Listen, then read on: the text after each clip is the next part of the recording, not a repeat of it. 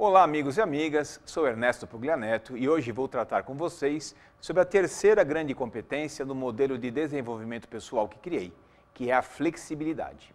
Apenas para recordar, esse modelo de desenvolvimento pessoal é baseado em quatro grandes competências individuais: a liderança, que vimos nos primeiros programas, e que se subdivide em comunicação, relacionamento interpessoal e inteligência emocional. A inovação, que vimos nos programas anteriores e que se subdivide em criatividade e iniciativa.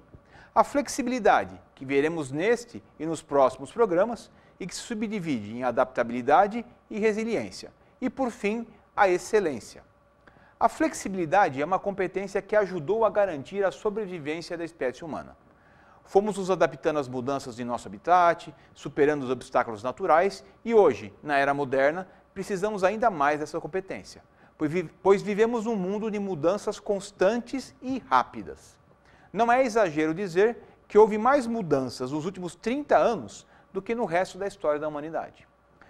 Pelo menos na forma que vivemos e na forma que nos relacionamos. Se você que me assiste tem menos de 30 anos, não sabe o que é um mundo sem telefone celular, sem internet e muitas outras conquistas tecnológicas. E não é só o caso de aprender a utilizar essas modernidades ainda temos que nos adaptar às mudanças de comportamento que decorrem dessa utilização. Nos próximos programas, veremos como lidar com essa mudança rápida e constante, de forma a não sofrermos mais do que o necessário essas dores que a mudança traz. Acompanhe por aqui e nas mídias sociais que aparecem no vídeo e aproveite para mandar suas dúvidas e sugestões. Conto com a sua participação e até a próxima.